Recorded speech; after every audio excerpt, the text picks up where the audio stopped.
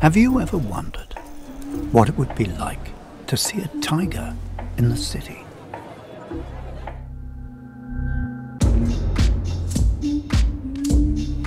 Making its appearance in the civilized place you live without an invitation, dressed in its fascination.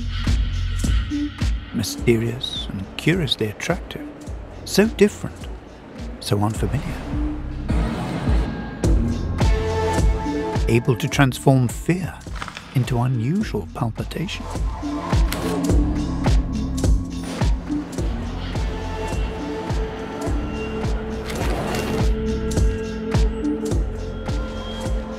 Now that you're looking at me, wandering around undisturbed, you might answer if you knew how strange it is to see a tiger in Milan.